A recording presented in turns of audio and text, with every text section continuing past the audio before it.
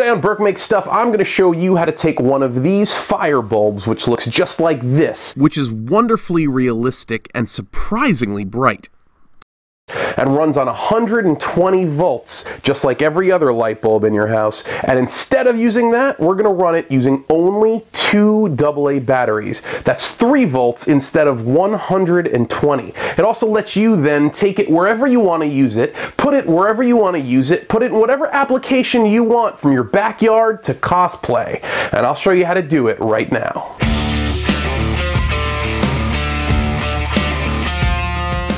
Couple of years ago, I bought a bunch of these fire light bulbs and I brought them home, tried to use them, and hated them because of this.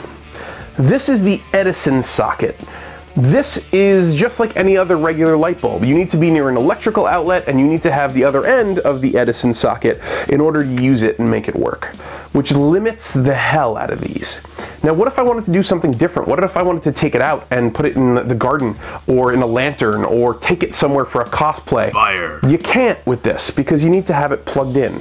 It took someone who knows way more about electronics than I do to figure that out, and that's Adam Savage. Remember, kids, the only difference between screwing around and science is writing it down. Adam Savage has a wonderful, probably my favorite YouTube channel of all times. It's called Tested. He does these one-day builds. You should definitely check it out. I'll put a link in the description uh, and I'll remind you at the end of the video about it so you check it out.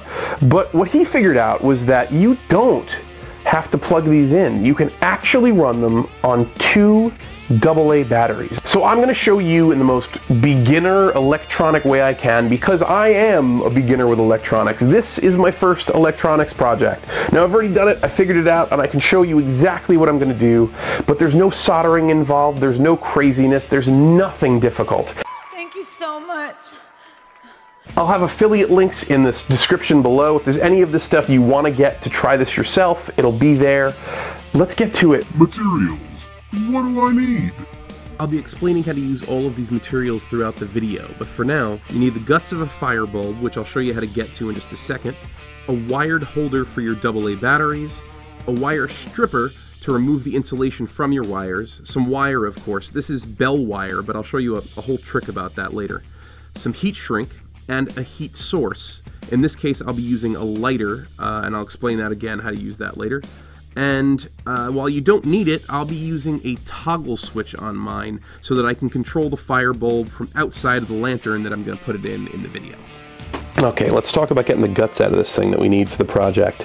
When you first crack open the bulb, which comes off really easy, well, of course, those wires won't be cut, but what you're going to see is this little piece in here. And this is kind of the crux of where a lot of all this happens. Now, we're not going to use this in the project, but it's kind of important to understand. While this whole thing is set up for 120 volts from your wall to go in here.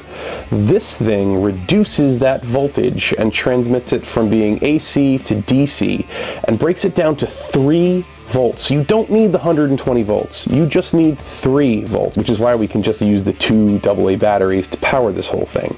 So this piece, you don't need at all. Literally, when you open it, you're going to cut those two wires right where they are and get rid of it. And then we look at this. This top piece also comes off. And this is the guts of the piece. You're going to pull these wires out. It'll make it much more easy to use. Don't detach them. Just pull them out, make them accessible. And that is the guts of the firebulb. Now as we go through this project, I'm going to show you simply how to use all of these tools and explain exactly what they do. The first thing you want to grab are your wire strippers, and then take each of the pieces that has a wire, go to the end, and strip it. To do that, take a look at your wire strippers.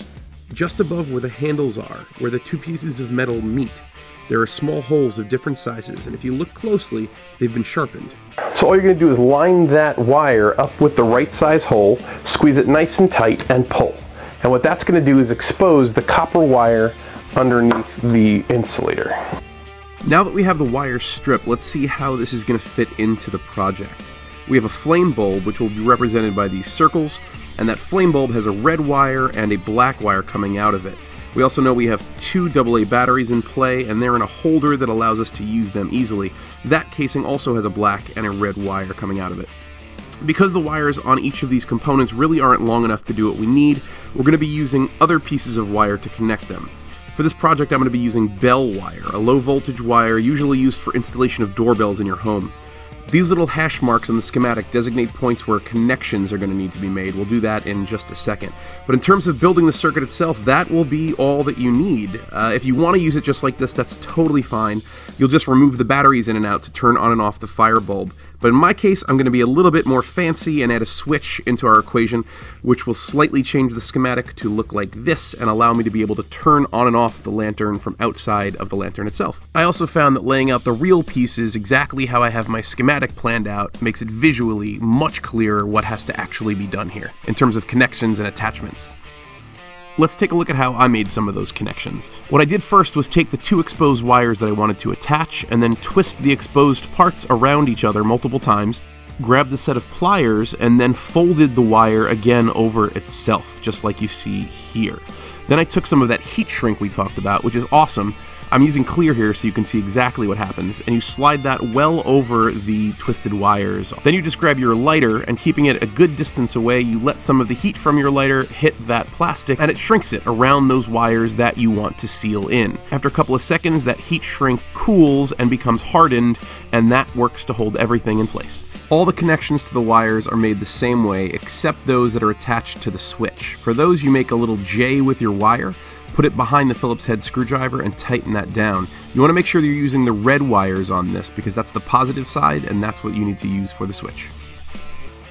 This is the part where my microphone didn't work because the batteries were dead. So I'm telling you something about, uh, oh, about this lantern and about how awesome it is and how we're going to put the wired up fire bulb inside of it and it um, i don't know that it, it's pretty and, and nice and how great it is because uh, i don't have to put it directly in that because inside of that lantern fits this little metal piece that I can attach everything to nice and simply and stuff. In order to attach the fire bulb to the metal base, we're just going to use a little bit of household hot glue, give it a chance to cure and get solidly in place, and then we're actually going to flood that whole area around the bulb with the same hot glue to make sure it has a solid footing in there. And once we know that that's good to go, we're going to test the bulb out to make sure it looks awesome, which it does even before the diffuser top is put back on. And then we're going to take a piece of double-sided tape and put it on the bottom of the battery pack. We'll then put the battery pack on the bottom of the metal piece, which will keep everything nice and consolidated and in the same area, so if we need to make any fixes, that'll be nice and easy as well. I'll then load it into the lantern and see specifically where the switch hits the wall. That way I know exactly where I need to drill out to make the opening for the switch.